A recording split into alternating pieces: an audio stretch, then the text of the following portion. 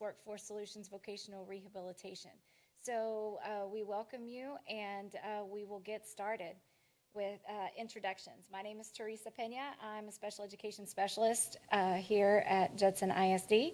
And uh, with me tonight is Lynn Franklin, special education coordinator, and Michelle Tanner, who is our newly um, appointed Texas Vocational Rehab Transition Counselor, um, who has re- who replaced our previous counselor who recently retired. So we welcome her in collaboration with this session tonight. So thank you for joining us. All righty.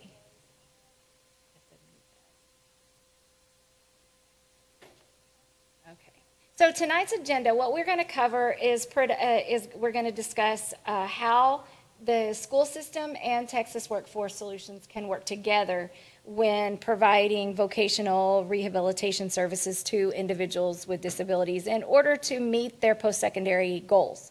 So we're going to look first at how IDEA and transition connect to one another by looking at um, the education piece, the community piece, and uh, those post-secondary options. Then we're going to look at graduation, uh, look at the foundations and endorsement plans, and then we'll turn it over to Texas Workforce Commission where we will look at how those pre-employment transition services can be provided uh, through the vocational rehabilitation, uh, which is uh, under Texas Workforce Solutions, falling under the umbrella of Texas Workforce Commission.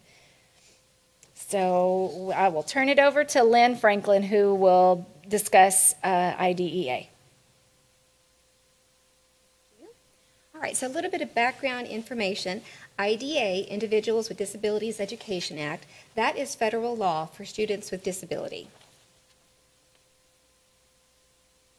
Do I need to do the screen?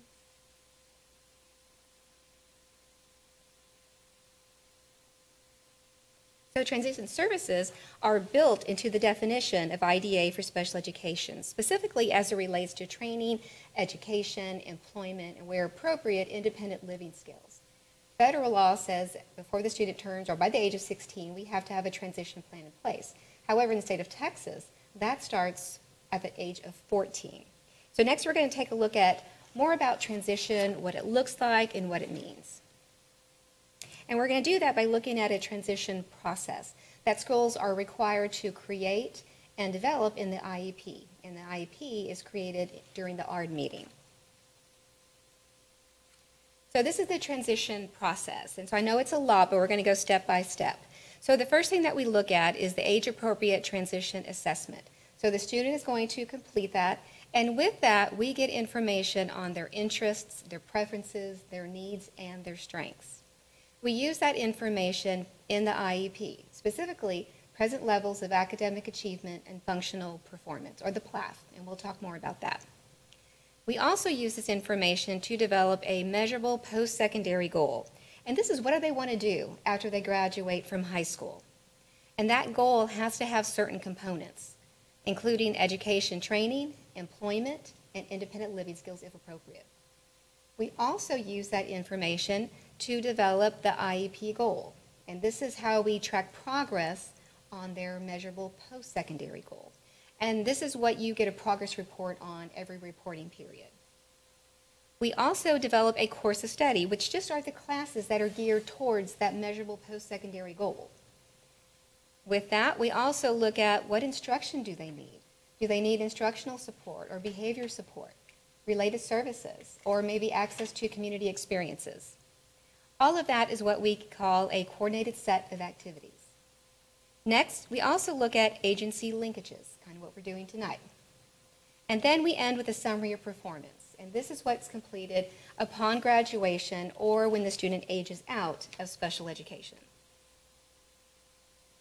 So next we're going to talk a little bit further um, about the special or special education process before we continue on with transition and graduation. In order to receive special education services, a student must have a disability, and that disability must cause the child to need special education services. So an ARD committee must answer the following two questions when determining whether a student qualifies for special education services.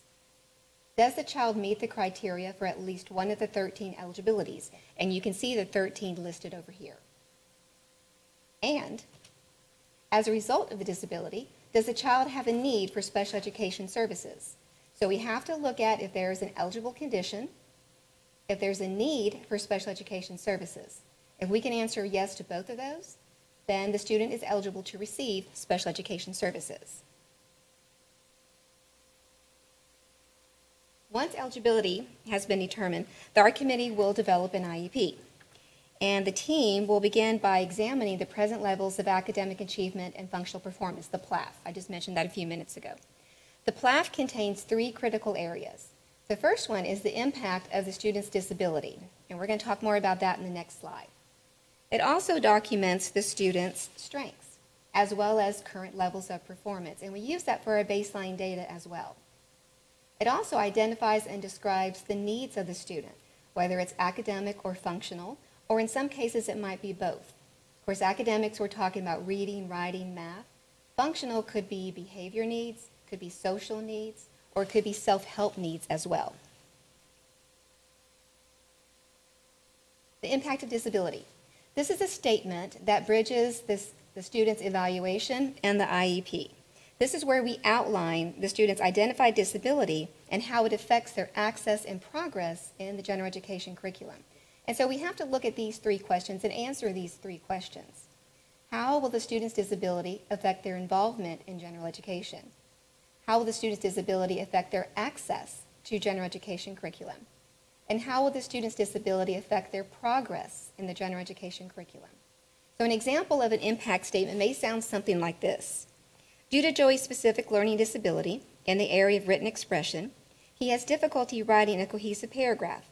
He benefits from the use of graphic organizers to help him make connections between ideas. So may sound similar to that. So we use all of this information to develop our transition services. So next we're going to talk about how graduation ties in to that graduation piece or the transition piece.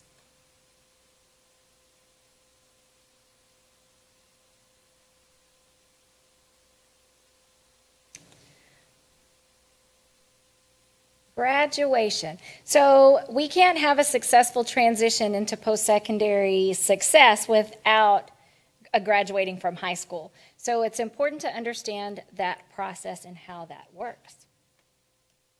So currently, Texas has only one graduation plan. So every student, that's called the foundation plan. And this plan requires 22 credits to graduate.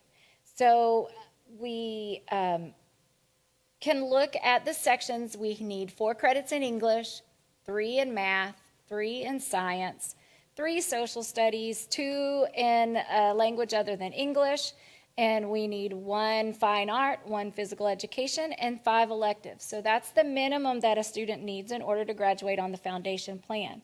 But a student can also enhance their graduation by earning an endorsement, a distinguished level of achievement, and a performance acknowledgement. So we'll discuss some options um, over the next few slides. But let's think about the graduation plan just in terms of this uh, illustration of this sundae. So our foundation high school plan is the base of our sundae. It's going to be our cone and our ice cream. It is the, the, the bottom of what we need in order to graduate from high school. So it is indeed the foundation of our graduation. Uh, then we can add some hot fudge on top. That's going to be our endorsement. What are we uh, pursuing? What's the pathway that we're uh, pursuing through high school? And then on top of that, we can add the sprinkles and the whipped cream, which could be our distinguished level of achievement, depending on the extra courses that we've taken in order to reach that goal. And then the cherry on top is our performance acknowledgement. So it just builds on top of that foundation graduation plan of those 22 credits. There is one diploma in Texas but there are two types of graduation, and both require demonstrated mastery of the required state standards or the district standards um, if they are greater than what the state requires. It requires completed, uh, completed credit requirements for graduation under the Foundation High School program. and satisfactory performance as established in the legal uh, framework. Unless the student's ARD committee has determined that unsa- uh, excuse me, that uh, satisfactory performance on the required state assessment isn't necessary for graduation. So if you've had an ARD meeting where the student has uh, met by participation of their state assessment, that's the piece that it's referring to.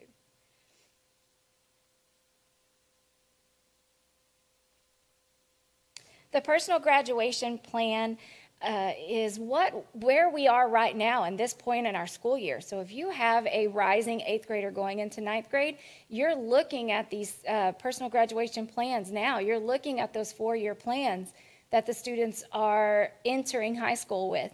If you've already passed that stage, in your student's high school career, then you're working through that PGP now. You're, you're utilizing that document. Maybe it has made some changes throughout the four years, but that document is there to help establish the four year credits and help our students uh, seek a program of study in their area of interest and help them get to their post secondary goal.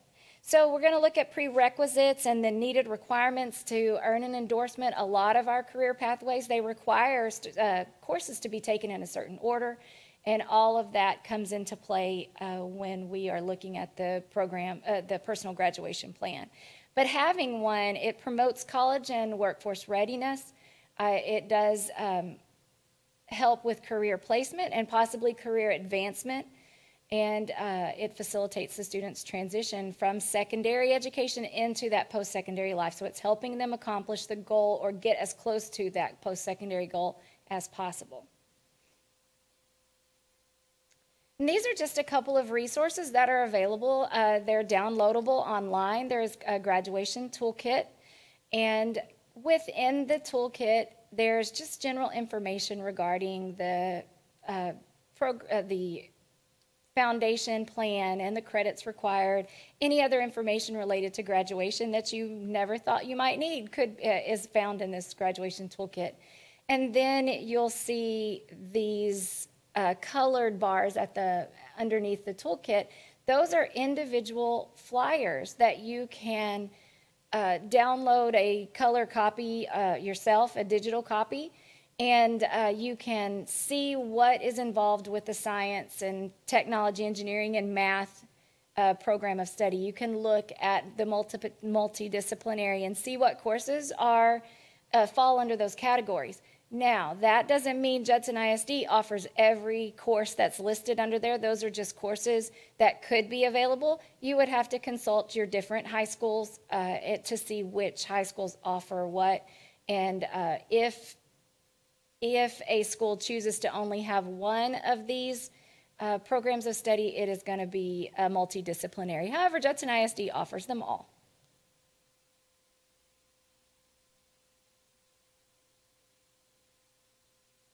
And then uh, here's some examples of those uh, programs of study. So with multidisciplinary, it's going to allow a student to sample some of the other uh, ones, and they can come out with a multidisciplinary. Um, so it gives them a variety of credits and uh, advanced courses that they have the option to complete. And it could also provide the distinguished level of achievement if the appropriate courses are taken for that distinction. Um, arts and humanities, that's going to be our fine arts, uh, advanced social studies, advanced English and world languages. Business and industry falls, uh, communication falls under that. Our technology courses, ag, welding, uh, Wagner High School has welding, Judson High School has transportation services, um, ag falls at Judson High School. So we have a lot of courses. Business, marketing, and finance is offered at all three. Um, we have public services. Cosmetology falls in this category, offered at Veterans Memorial High School. Education and training, which is at Wagner. Um, and we have law and public services offered at all three high schools and then our JROTCs, and we have those located at all three high schools, depending on which branch of service you are uh, would like to pursue. And then our STEM falls in uh, under uh, biomedicals, computer science, cybersecurity, and engineering. And Wagner and uh, Wagner has engineering, biomedical, and then the computer sciences are offered at all three high schools, with cybersecurity being at Veterans Memorial. And then to access these particular documents, you can go to the Texas Workforce Commission website and uh, you can look in their products label or their products tab and click on that and you're going to be able to find these downloadable brochures.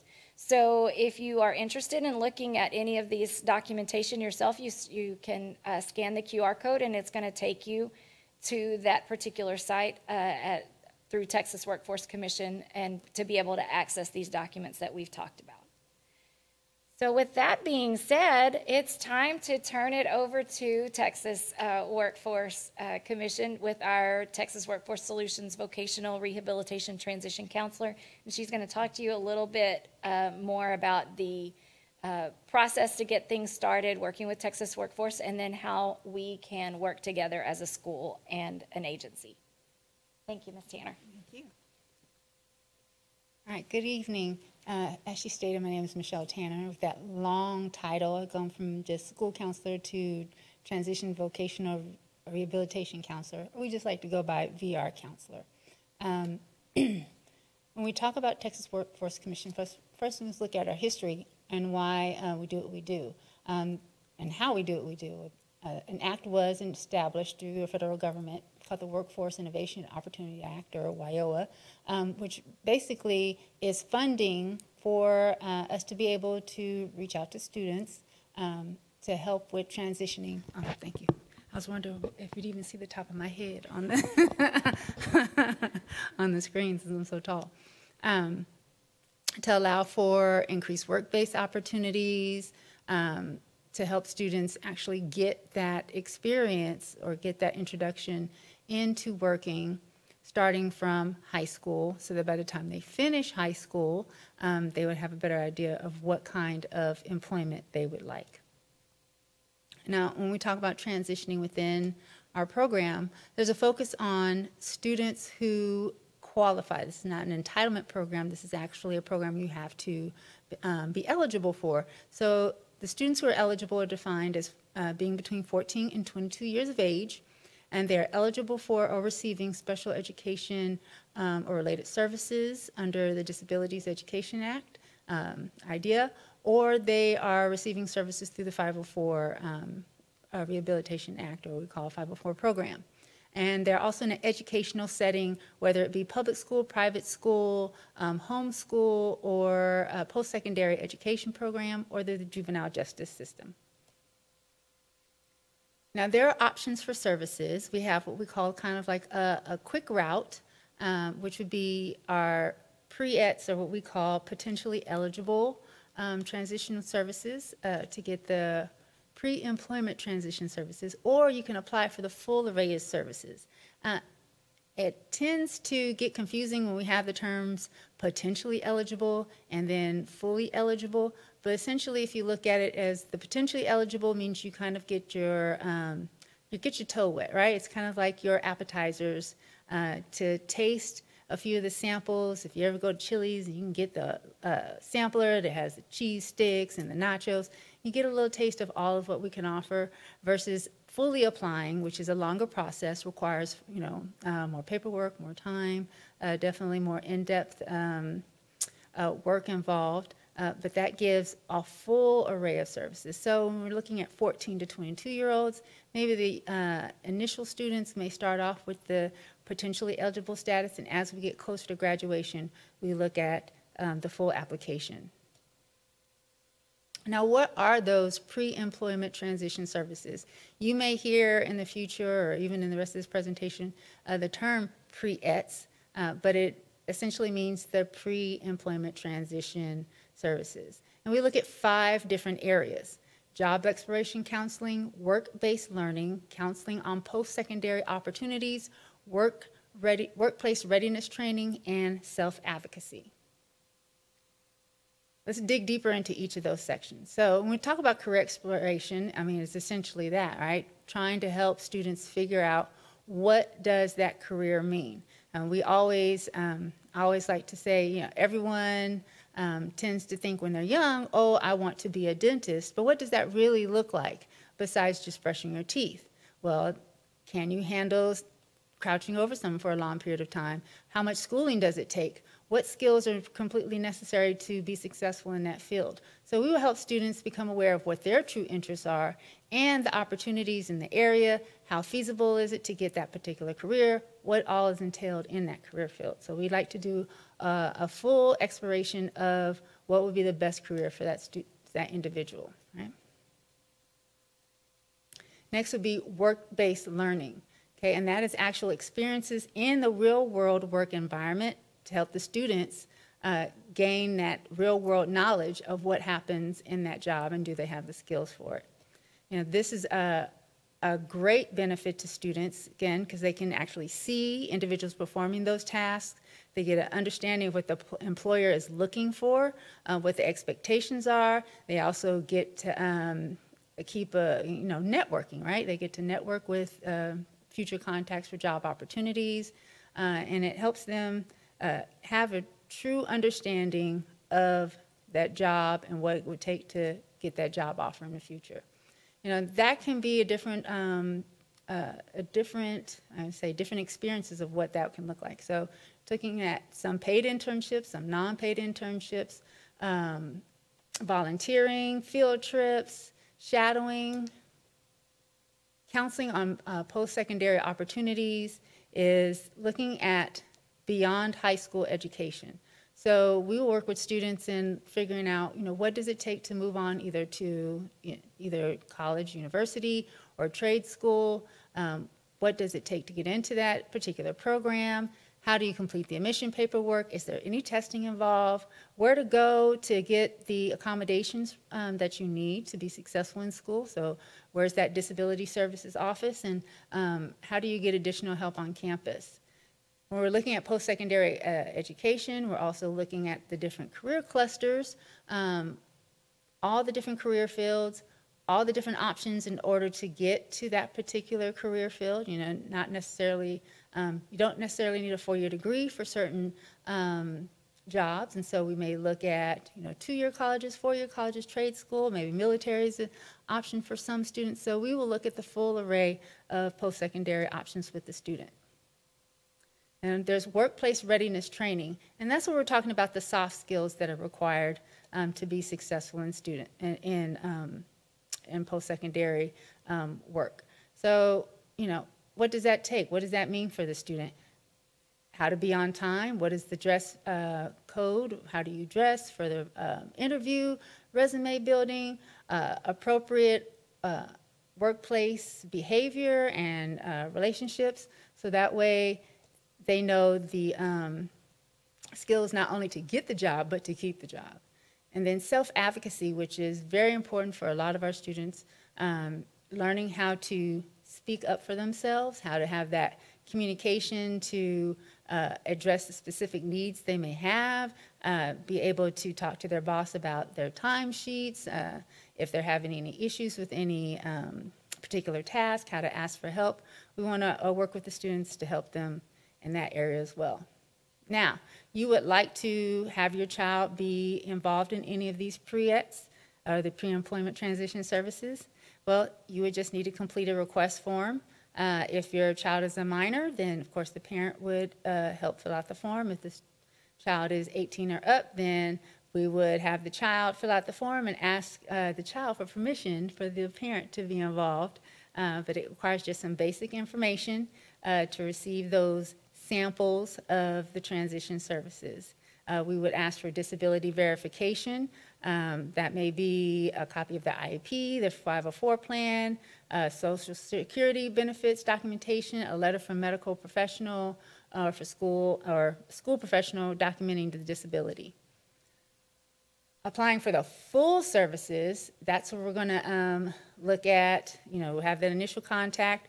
We're going to do a thorough um, diagnostic interview, asking, you know, digging deep into, you know, how does a disability affect the student, um, history of employment, education, legal issues, um, students' per perception of problems, um, counselor observation, medical resources, their social security um, status, and then we'll see um, if they're eligible. Okay, remember that eligible eligibility criteria comes from if there's a physical or mental impairment, if it constitutes or results in a substantial impediment to employment, if the student requires VR services to prepare for, secure, retain, or advance or gain employment that is consistent with the individual's unique strengths, resources, priorities, concerns, abilities, capability, basically meeting them where they're at. And then, is the student capable of achieving an employment outcome? If ineligible, then the case is closed. We would not move further um, with services, and student cannot receive uh, any services, including pre-ETS. But if eligible, we will move forward to uh, come up with what we call the individual plan of employment. And so that is a plan of services where we're going to look at assessing um, the student in different areas. Maybe the student has um, maybe some sensory issues, and we want to see what is the optimal situation uh, for work for that student. Maybe they can work at HEB uh, closer in the evening when it's not as crowded versus being there Sunday afternoon at 11 o'clock when it's super crowded. May, that may be, um, there may be too much stimulus for the students. So we'll put them in different uh, areas, um, different situations to see how, um, how they respond to that to help find the optimal job situation for that student. So we look at different assessments like that um, to help the student.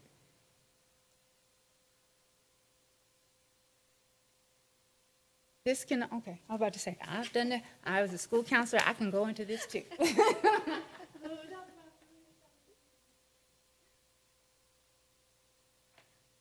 right. So next we're going to talk about college career and military readiness, or CCMR.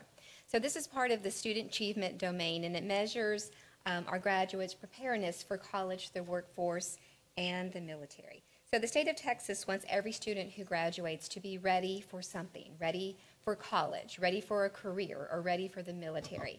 So that is why, oh, thank you. Um, that is why this, this talk tonight is, is very important. So the VR services that Ms. Tanner just went over with you can help us with all of those things. These are the indicators. So there's one for college, career, and military. And as I mentioned, it's part of an accountability system. So we're going to briefly look at each one of those areas. So the first one is college readiness. So the pre-ETS program, again, that was shared with you, can assist our students um, in developing those skills necessary for college. I know we talked about employment, but really those are skills that can be useful as they're entering college as well. And here are some other examples as well. Um, having the students check in with their guidance counselor, visiting potential higher education campuses, looking at various degree programs, and having conversations with the case manager that they have or monitor teacher that they have at the campus. Making sure they know when the SAT and ACT test dates are scheduled. And then knowing the Office of Disability Supports at the different colleges. Now, each college calls it something different, so it's important to know once you know the college you want to go to or a variety of colleges that you may be interested in, they all call it something different. So that's really something that you're going to have to research to make sure that you get connected with the Office of Disability Supports. This is the office that can help with accommodations and, and help you through any challenges that you may have. The next one is career readiness, and this is where you learn about various occupations and your fit between your career preferences and what you want to do when you graduate. So looking at your skills and your interests and your values, and then we match that with your strengths. And that helps you to kind of pinpoint a career because there's a lot of career opportunities, a lot of options out there for you. So next we're going to talk more about finding that fit between your preferences and careers. Um, and then we'll come back in and talk about military readiness.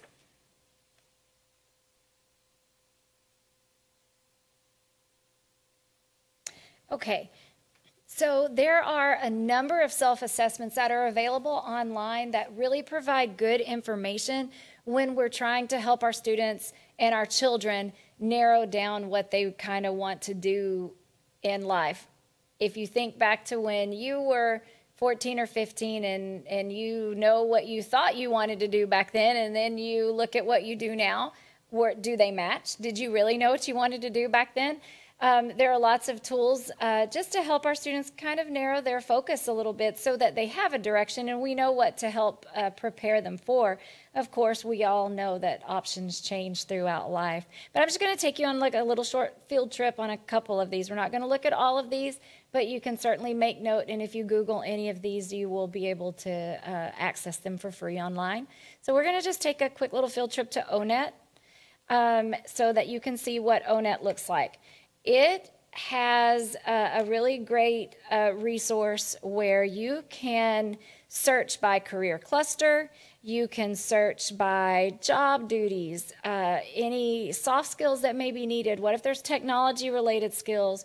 But let's start and just look in the find occupations. So we'll start with those career clusters that Ms. Tanner mentioned. And it has all of those career clusters that she uh, had mentioned and showed on the slide earlier. So we'll just pick uh, let's do, how about law, public safety, corrections, and security, which we know all three of Judson ISD high schools offer uh, programs of study in those areas. So now it takes us to this whole long list of career pathways. We can look at jobs in the correctional system. Uh, we can look at emergency and fire management, and then we have law enforcement services, legal services, security, and protective services. So let's just start with uh, correction services. So if we want to be a correctional officer or a jailer, we'll just click on here. And now it's going to take us to some uh, tasks that that particular position is required to perform, some technology skills that are needed in order to be successful in that particular uh, place uh, employment aspect. We've got work activities. So this is going to tell us are we going to have to do a lot of writing, a lot of reading? Are we going to have to be on our feet? What kind of communication are we going to need uh, to be able to have? Who are we communicating with? We've got a little more detailed work activities, work context. Then we can look at the work zone. So what type of education is needed? Any if it if they typically require related experience, how the job training may look and then we can scroll down and look at training and credentials, and we can select that by state and our zip code. And if there's any nationwide certifications, it lists skills that are needed, the knowledge level, the education, abilities, interests, values, work styles. It's got everything that you would need. This is a very important piece right here is the wages and employment trends. So it's going to look across the state and it will then it'll look at our local wages. It'll compare what uh, Bexar County has or what our uh, zip code offers, and it'll give you a projected growth. So it's going to it, it tells you the projected number of job openings that could happen over the next couple of years, uh, next ten years. Um, and what this, the labor trends are. So this gives you some really good information maybe this is information that uh, that adults in your family could use. Maybe you've got students already in college who really are still struggling with their their direction of where they want to go. This is just a great resource to look at. And then i want to look at this one right here the texas reality check. This one's kind of a fun one. Um, this one will you can use this lifestyle calculator and if you start your reality check and you narrow down where you live and then we're going to start with this particular area. Do I want to live at home? Do I want to, which is going to cost me nothing unless until mom and dad start making me pay rent? Uh, or am I going to live in an apartment? Do I want a house? And it's going to um, start calculating what my housing expenses are going to be and what kind of total monthly expenses that I'm going to end up having when it's all said and done. So I click and then I'm going to go over here to my bills that I'm going to have to have. Well, this is uh, 2023. Everybody's got to have a phone. Uh, I need the internet. I can't function without that. And but do I? I guess I have to have water and gas. So we're going to keep going with all of these things, and you start seeing things add up. And sometimes this is a really big eye opener for our students uh, in our in our our homes as we start to talk to our children about look do you realize how much money that we're putting out if we um, where when we dine out at restaurants all the time And here we are spending this money eating at restaurants when that money could go someplace else. So this particular website, it'll give you a monthly expense and it'll tell you basically what kind of job you're going to need to have in order to maintain the lifestyle that you've chosen through the Texas Reality Check. So it's just a fun little website that you can use uh, with your uh, with your students at home or with your uh, your older, your younger adults that you may have who haven't, maybe they're in college, but they haven't ventured out on their own yet. Give them this reality check, and, and it truly is a reality check when it's all said and done. So explore some of the other ones, they're pretty fun as well. So then, if we look at the military readiness piece, of course, we've got our branches of the armed forces uh, that our students can uh, um, enter into. Uh, they are going to need the ASVAB test as part of it. They need to visit with the, with the recruiter, and the recruiters do visit our high school campuses, um, and they can seek out the, the different aspects of the military that interest them. Um, there are different opportunities uh, involved, and they can you can certainly find lots of information online. Um, and then this is a link that'll also uh, provide you with information. And then I'll turn it back over to Miss Tanner, who's going to discuss uh, the summer Earn and Learn uh, program, and you may have be familiar with that because that's currently happening now. So, thank you, Miss Tanner.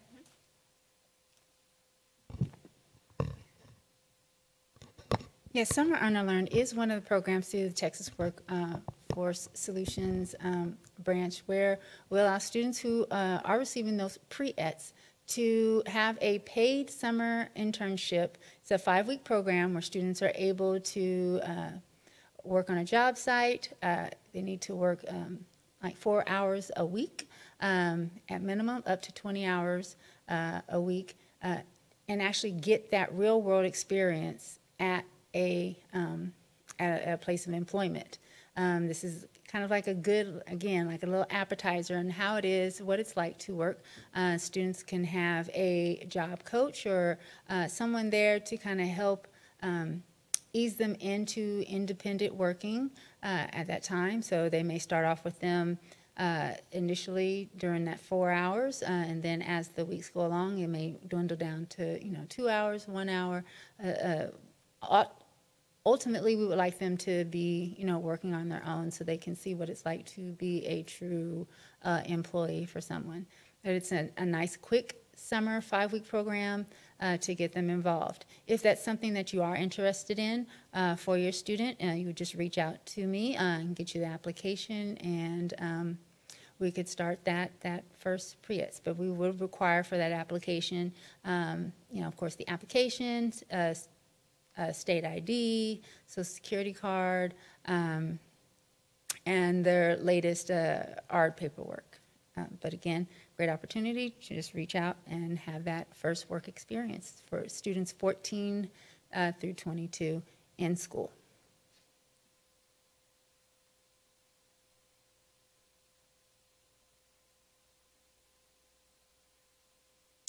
Okay, and we're nearing the end of our presentation now, but we just want to make sure that you are aware of community services that are available um, for long-term supports and services. So we have uh, in Texas, they're they're called long-term supports and services waiver program. They used to be called the the Medicaid waivers, if you're familiar with that term.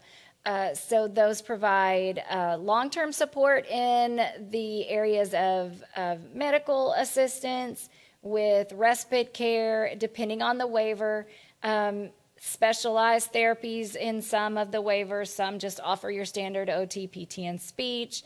Um, there is an eligibility requirement of, uh, depending on the disability and the ages on these waivers. Uh, but the breakdown is uh, ACOG IDD Services manages the home and community based waiver services and the Texas Home Living Services for Bexar County.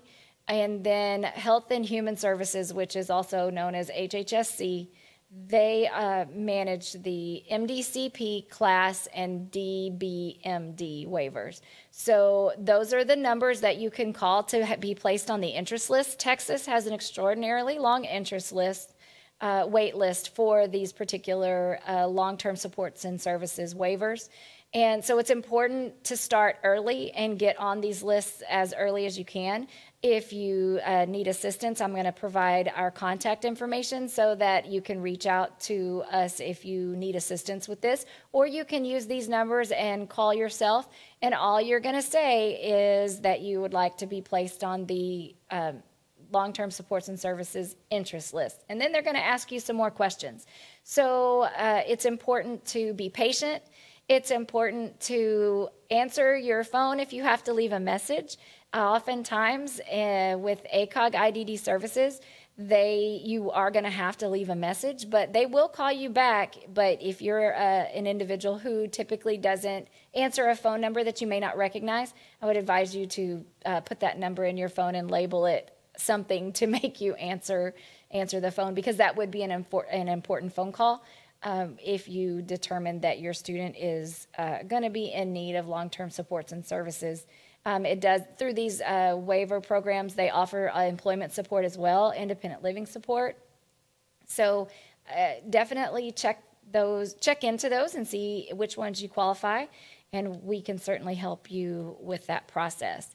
Uh, this is Miss Tanner's contact information through. Uh, she's our transition vocational rehabilitation counselor through Texas Workforce Solutions. Texas Workforce Solutions does fall under the umbrella of Texas Workforce Commission. So, if uh, just to, to clarify the two terms, they are connected to one another.